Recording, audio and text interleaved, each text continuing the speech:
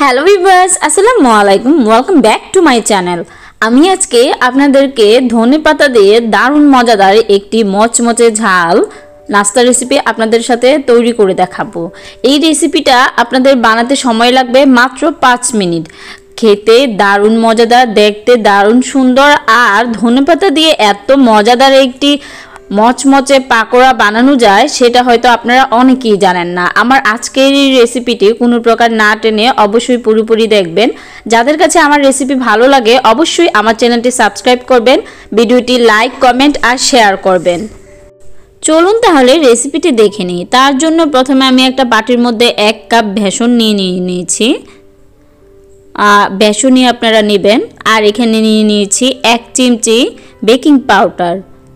আপনারা যে কোনো ব্র্যান্ডের বেকিং পাউডার নিতে পারেন, তবে ফ্লস্টার ক্লেকারের বেকিং পাউডার সব থেকে বেশি ভালো হয়। এটা দিয়ে আমি আমার প্রফেশনাল কেকও বানাই। আমি এটাই ইউজ করি ফ্লস্টার ক্লেকারেরটা আর এখানে দিয়ে দিচ্ছি হাফ স্পুন হলুদের গুঁড়া, হাফ টি স্পুন মরিচের গুঁড়া, হাফ স্পুন ধনিয়ার গুঁড়া, হাফ স্পুন জিরার গুঁড়া। হাফ স্পুন বলতে বোঝায় কিন্তু এক চামচের চার ভাগের এক ভাগ। আর আমি এখানে দিয়ে দিয়েছি এক চিমটি গরম মশলার গুঁড়া আর হাফ টি স্পুন আদা রসুনের পেস্ট। আর এখানে হাফ টি স্পুন ভরাবর আমি দিয়ে দিয়েছি লবণ।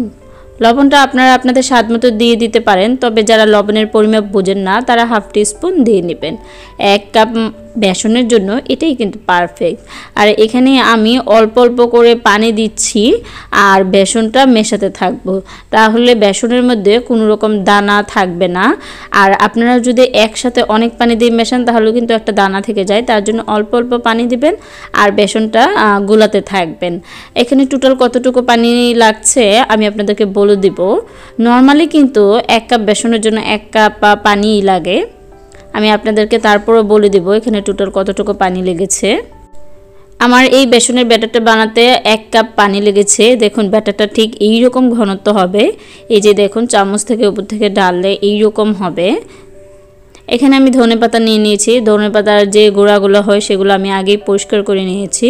পরিষ্কার করে পানি দিয়ে কয়েকবার ভালোভাবে ধুয়ে একটা ঝুড়িতে নিয়ে নিয়েছিলাম যাতে করে যে এক্সট্রা পানিটা থাকে সেটা পড়ে যায়। এখন দেখুন, আপনারা ধনে পাতা গাছগুলো ছোট বড় যে কোনো নিতে পারেন, তবে বড় নিলে দেখতে বেশি সুন্দর হয়। আমি এরকম মিডিয়াম সাইজের নিয়ে নিয়েছি। এই যে এখানে আমি দুইটা ধনে পাতা গাছ নিয়ে নিয়েছি। দেখুন, এভাবে দুইটা ধনেপাতা গাছ নেবেন। যদি আপনি ধনেপাতা গাছ অনেক বেশি ঘন হয় মানে অনেক বেশি বড় হয়, তাহলে একটা নেবেন।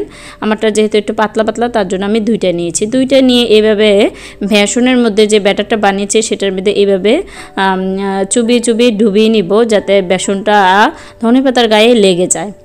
আর এদিকে আমি তেলটা খুব ভালো মতো গরম করে নিয়েছি। তেল কিন্তু ভালো মতো অবশ্যই গরম হতে হবে, না হয় কিন্তু এই পাকোড়াটা খেতে মজা লাগবে না, মচমচে হবে না। চুলার আঁচটা থাকবে মিডিয়াম টু লোয়ের মাঝামাঝি পর্যায়ে। মিডিয়াম দেবেন না, তাহলেও কিন্তু তাড়াতাড়ি উপর দিকে কালার চলে আসবে, কিন্তু পাকোড়াটা মচমচে হবে না। তাই মিডিয়াম টু লোয়ের মাঝামাঝি রেখে এইভাবে ধনে পাতা নিয়ে বেসনের মধ্যে ডুবিয়ে আপনারা ধনে পাতা দিয়ে এভাবে পাকোড়াটা তেলের মধ্যে ছেড়ে দিবেন।